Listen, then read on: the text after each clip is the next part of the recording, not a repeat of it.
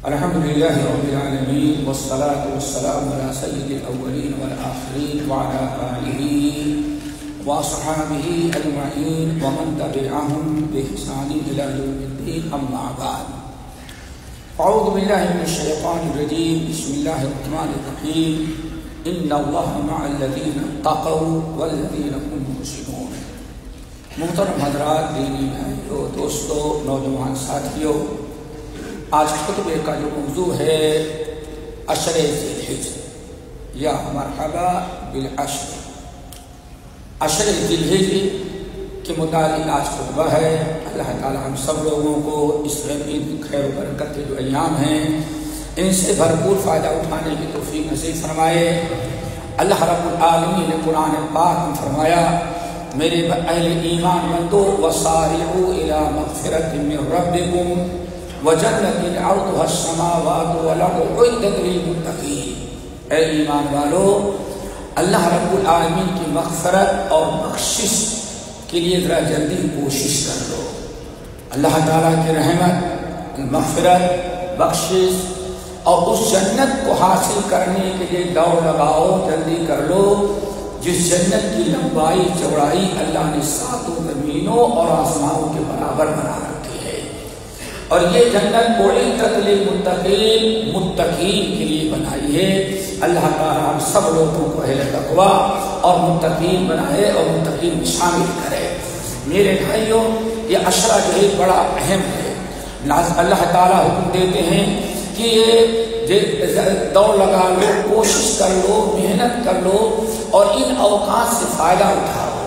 اسی طرح سے نبی علیہ السلام اسلام رحمت للعالمین نے اپنی امت کو خطاب کرتے ہوئے فرمایا، لوگو، اس الخیر دہرکم فإن لله نفحات من رحمته يصيب بها من يشاء من عباده واسألوا الله أن يؤمن روعاتكم وهو أن يؤمن أور أن يؤمن، أن يستر عوراتكم وأن يؤمن روعاتكم میرے بھائیو، اللہ کے نبی صلی اللہ علیہ وسلم نے ارشاد فرماتے ہیں افعلوا الخير دهركم اے لوگو جب تک تمہیں اللہ تعالی صحت، تندرستی، جان دی ہے وقت ضائع نہ ہونے دو، افعلوا الخير دهركم ساری زندگی نیکیاں کرتے رہو۔ اور سب سے بڑا سرمایہ آخرت میں کام آنے کے لیے جو سبب بنایا ہے، وہ زندگی ہے، حیات ہے۔ اسی لیے رب العالمین نے ارشاد فرمایا، یہ تمہیں جو زندگی دنیا میں دی ہے لیبلوکم ایکم احسن عملا۔ تاکہ اللہ تعالیٰ دیکھیں کہ تم میں کون کتنا اچھا عمل کرتا ہے اور کتنی کوشش کرتا ہے اللہ رب العالمین کا تقرر حاصل کرنے کے لیے۔ دنیا میں آنے کا یہی سب سے بڑا مقصد ہے کہ لیبلوکم ایکم احسن عملا۔ اللہ کے نبی علیہ السلام ارشاد فرماتے ہیں لوگوں افعلوا الخير دهركم جب سے سوج بوجھ آئے اور مرتے دم تک نیک اعمال کرنے کی کوشش کرتے رہو، یہ تو مقام متعین ہے وَعْبُدُ رَبَّكُمْ حَتَّى وَعْبُدُ رَبَّكَ حَتَّى يَأْتِيَكَ الْيَقِينُ اب اے نبی، آپ اللہ کی عبادت کرتے رہیں۔ جب تک کہ موت نہ آ جائے، ایک کلمہ گو ایک مسلمان کے لیے فرائض میں سے کہ نیک اعمال مرتے دم تک کرتا رہے۔ اللہ رب العالمین کی اس نعمت کا شکر ادا کرے، صحت اور عافیت کے ساتھ زندگی ملی ہے۔ اس نے اس سے فائدہ اٹھا کر کے زیادہ زیادہ نیک اعمال کرتا رہے۔ اسی لیے نبی علیہ السلام سے جب پوچھا گیا، یا رسول اللہ ای الناس افضل، آپ کے امتیوں میں سب سے افضل انسان کون ہوا کرتا ہے؟ آپ فرمایا، من طال عمره وحسن عمله سب سے بہترین ہمارا امتیوں ہے، جس کو اللہ لمبی عمر دے وہ حسن عمل ہو اور اچھے اعمال کرے۔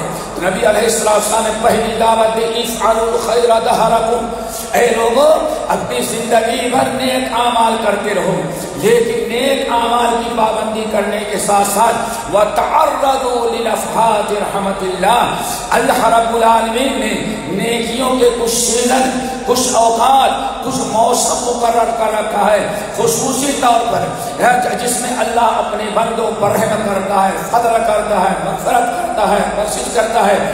اور اتنے خیر و برکت کے دن اللہ نے بنا رکھا ہے اور اعلان کر رکھا ہے کہ انہیں میں تھوڑا سا بھی عمل کرتا ہے تو اللہ تعالیٰ بہت بڑا اجر و ثواب بڑھا چڑھا کر کے دیتے ہیں۔ عام دنوں میں بھی نیکیوں کا ثواب کم سے کم دس سے شروع ہوتا ہے اور سات سو تک جاتا ہے۔ لیکن اگر انسان ان مواسم میں وہ اوقات وہ دن، وہ ساعت و گھڑیاں جو اللہ رب العالمین نے مخصوص کی ہیں اپنے رب و بندوں پر فضل و کرم کے لیے، رحمتوں کا دروازہ کھول دیتے ہیں، مغفرت اور بخشش کا دروازہ وسیع کر دیتے ہیں۔ اور انسان اگر تھوڑی سی نیکی کرتا ہو دنوں میں، تو بہت بڑے اجر و ثواب کا مستحق بنا دیتے ہیں۔ ایسے دنوں کے انتظار میں رہو۔ اور جب یہ چیزیں مل جائیں تو یہ اوقات مل جائیں تو خوب اچھی طرح سے ان سے بھرپور فائدہ اٹھاؤ اور وہ کنے چنے دن ہوا کرتے ہیں اور انہی ایام میں سے ایک ذلحج کا پہلا اشرا ہے۔ میرے بھائیوں ذلحج کا جو مہینہ ہے، اس کا پہلا اشرا اللہ رب العالمین نے بہت ہی خیر و برکت کے ایام بنایا ہے۔ حضرت جابر بن عبداللہ رضی اللہ تعالیٰ عنہ کی روایت ہے امام احمد بن حمد امام تورانی اور بہت سارے اہل علم نے بس بسند صحیح نقل کیا ہے۔ نبی علیہ السلام شام نے ساتھ اے لوگو، افضل ایام دنیا افضل ایام دنیا ایک سال، دو سال کے نہیں، افضل ایام دنیا هذه ہاں، الايام العشر۔ اے لوگو، یہ ذلحج کا چاند نکل آئے۔ تو پہلے اشرے سے بھرپور فائدہ اٹھانے کی کوشش کرنا کیوں؟ افضل ایام دنیا، ایام العشر۔ یعنی ذلحج کا پہلا اشرا زندگی میں انسان کو سب سے بڑے خیر و برکت، مغفرت اور بخشش کے اجر و ثواب کے ایام اگر مل سکتے ہیں، تو اللہ رب العالمین نے ذلحج کے پہلے دس دن کو منایا ہے۔ افضل ایام دنیا۔ پورے سال بھر میں دنیا میں انسان پورا سال گن ڈالے۔ ان دس دنوں میں جو اللہ تعالیٰ عدل و ثواب مفرت اور بخشش کا جتنا بڑا دروازہ کھولتے ہیں اور جس قدر نیکیوں کا مقام بڑھا دیتے ہیں سال کے کسی اور دن میں اللہ رب العالمین اتنا عجر و ثواب نہیں دیا کرتے۔ اس لیے آپ نے فرمایا، افضل ایام دنیا سب سے بہترین دن جو ہے، اور دلہج کے پہلے اشرے کے ہیں۔ اسی لیے اللہ رب العالمین نے ان دنوں کی اشرے دلہج کا مقام اور مرتبہ اور ان کی فضیلت کا اندازہ لگانے کے لیے اللہ رب العالمین نے قسم کھائی۔ فرمایا، والفجر وليال عشر قسم ہے صبح کی اور قسم ہے دس راتوں کی۔ با اتفاق علماء، جیسے کہ حضرت عبداللہ بن عباس رضی اللہ تعالیٰ عنہ سے متعدد محدثین نے نقل کیا کہ نبی علیہ السلام نے ارشاد فرمایا، اے لوگو، تمہارے رب نے جن دس دنوں کی قسم کھائی ہے، وہ ایسی ہج کے ابتدائی دس دن ہیں۔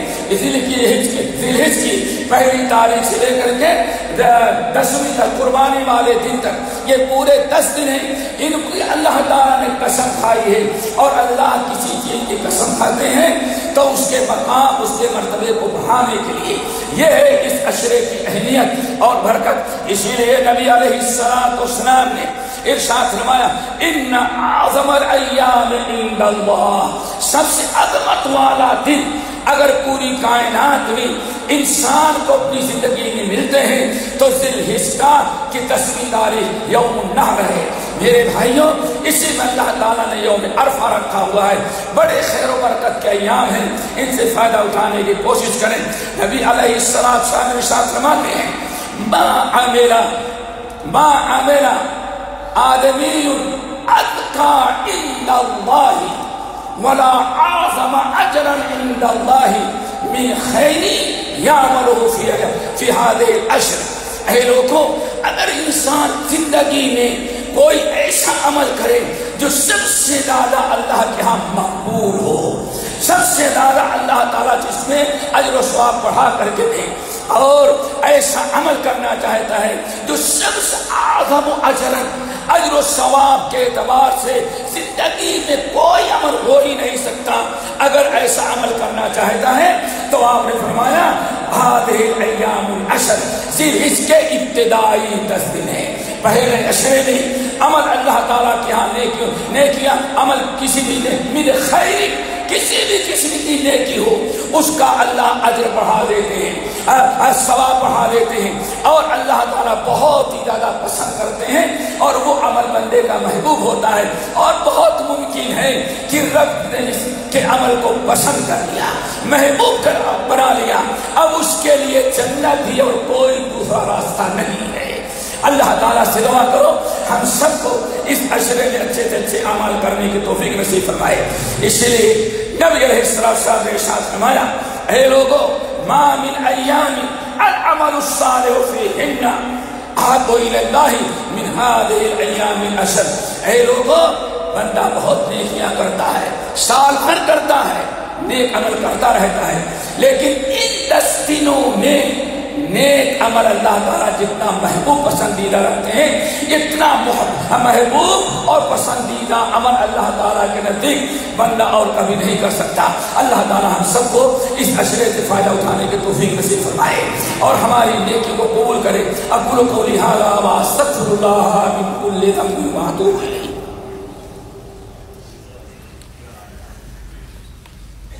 الحمد للہ وکفا وسلام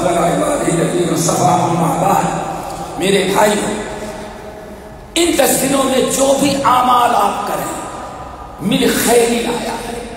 چھوٹی بڑی نیکی، نماز ہو، تلاوت قرآن ہو، صدقات اور خیرات ہو، اللہ کی مخلوق کے ساتھ احسان کرنا ہو، توبہ، استغفار ہو، جو بھی عمل کریں گے، ہر عمل کا ثواب اللہ تعالیٰ کے ہاں بہت ہی زیادہ بڑھا دیا جاتا ہے لیکن خاص طور سے نبی علیہ السلام نے اس اشرے میں چند اعمال کا نام لیا ہے اور تشریح کی ہے، وضاحت کی ہے۔ ان اعمال کا، ان اعمال کا عجر سوال اللہ تعالیٰ کے ہاں بہت زیادہ بڑھ جاتا ہے۔ اس اشرے میں محبوب اعمال کہے جاتے ہیں۔ ان میں سے ایک بڑا عمل ہے دوستو، اللہ تعالیٰ کا ذکر کرنا۔ کثرت سے ذکر کرنا رب العالمین قرآن پاک کے اندر فرماتے ہیں، وَيَذْكُرُ اسْمَ اللَّهِ فِي أَيَّامٍ مَعْلُومَاتٍ۔ اور ہمارے نیک بندے، ایام معلومات یعنی ذلحج کے پہلے اشرے میں اللہ تعالیٰ کا خوب کثرت سے ذکر کرتے ہیں۔ اسی لیے صحیح بخاری اور مسلم کی روایت، حضرت عبداللہ ابن عمر ابن الخطاب رضی اللہ تعالیٰ عنہ حضرت ابو حریرہ رضی اللہ تعالیٰ عنہ جب زلحج کا چاند آتا تو یہ صحابہ کرام بازار میں نکل جاتے، مارکیٹ میں نکل جاتے۔ اور بلند آواز سے، اللہ اکبر اللہ اکبر، ولا اللہ اکبر، کبیرہ والحمد للہ کثیرہ، یا اللہ اکبر اللہ اکبر، لا الہ الا اللہ۔ اللہ تعالیٰ کی کبریائی اور بڑائی بلند آواز سے بیان کرتے۔ وَيُكَبِّرُونَ بِتَكْبِيرَيْهِمَا۔ اور جب یہ دونوں صحابی رسول بلند آواز سے اللہ تعالیٰ کا ذکر کرتے، تو مارکیٹ کا ہر انسان، بازار کا ہر انسان، چاہے خریدنے والا ہو یا بیچنے والا ہو، دکاندار ہو یا ویسے کھڑا رکھنے والا ہو، سب کو پتا چل جاتا ذلحج کا چاند ہو گیا ہے، اور ان کی تکبیرات کو سن کر کے سارے مارکیٹ کے لوگ اللہ تعالیٰ کے ذکر میں مشغول ہو جایا کرتے اس لیے دوستو، سب سے آسان، سب سے بڑا عمل جو ہے ذکر الہی ہے۔ نبی علیہ السلام صاحب نے ارشاد فرمایا فرمایا، ما عمل ابن آدم من عمل۔ ان آدم کی اولاد ان دس دنوں میں اگر جب کوئی عمل کرتا ہے، سب سے زیادہ اللہ تعالیٰ کو محبوب ہے۔ بڑی فضیلت بیان کی۔ پھر آپ نے ارشاد فرمایا، اس لیے فاغفروا فیہن من التحمید والتحلیل والتکبیر اس لیے کم سے کم اس اشرے میں خوب کثرت سے پڑھا کرو۔ اللہ اکبر۔ الحمدللہ، لا الہ الا اللہ۔ اللہ تعالیٰ کی تصویر بیان کرو، تکبیر بیان کرو۔ اللہ کی حمد بیان کرو۔ اور اللہ رب العالمین کی تکبیر۔ اللہ اکبر اللہ اکبر۔ لا الہ الا اللہ۔ واللہ اکبر، اللہ اکبر۔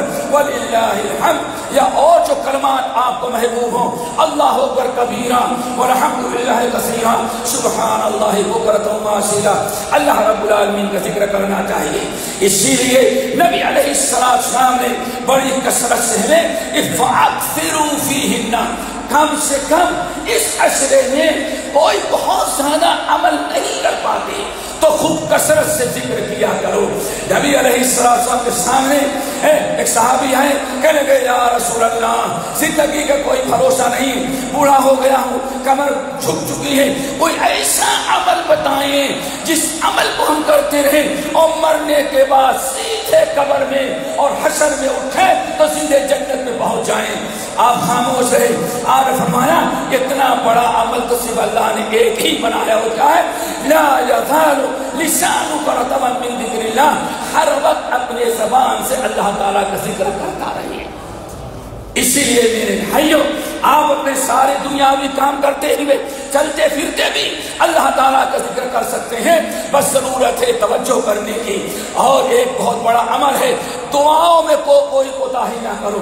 امام بخاری رحمت اللہ نے اپنی مشہور کتاب الادب المفرد کے اندر نقل کرتے ہیں۔ ام المومنین عائشہ رضی اللہ تعالیٰ کی خدمت اللہ تعالیٰ ساتھ میں افضل الدعا افضل الدعا یا افضل العبادت یا اشرف العبادت سب سے بہترین دعا، سب سے بہترین عبادت اور سب سے بہترین ذکر جو ہے آنے فرمایا، وہ دعا ہے، خصوصاً عرفات، خصوصاً ذل حج کے مہینے میں دعا۔ تو ہمیں کثرت سے ذکر، اذکار، توبہ، استغفار، دعائیں کرنا چاہیے۔ کیوں؟ یہ مغفرت کا مہینہ ہے۔ اشرا ہے۔ اس میں توبہ استغفار ذکر اذکار دعائیں سب کا خیرات، زیادہ زیادہ نیک عمل کرنے کی کوشش کرنی چاہیے۔ اللہ تعالیٰ ہم سب کا مجھے توفیق نصیب فرمائے۔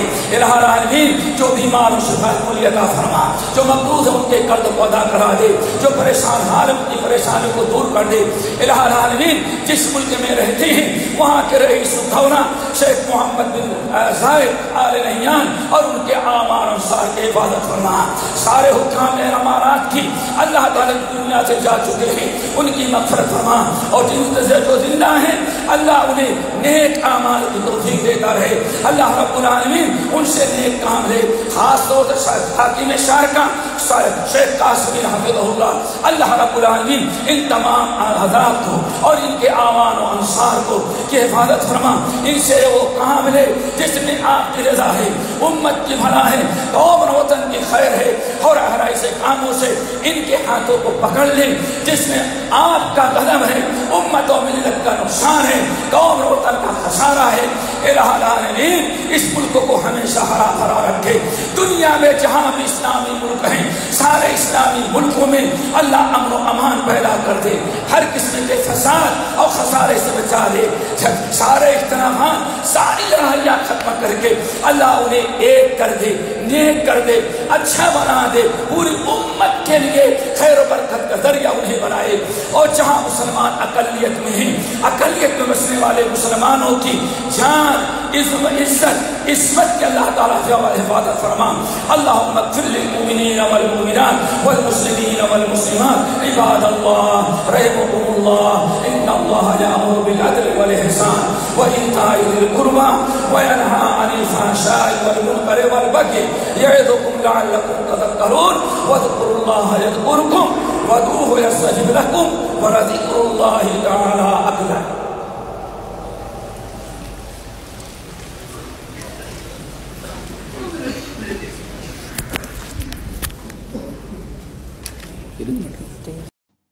ہمارے چینل کو سبسکرائب کیجیے اور بیل آئکن کو دبانا نہ بھولیے تاکہ آپ کو نئی ویڈیو برابر ملتے رہیں۔ لائک اور شیئر کرنا نہ بھولیے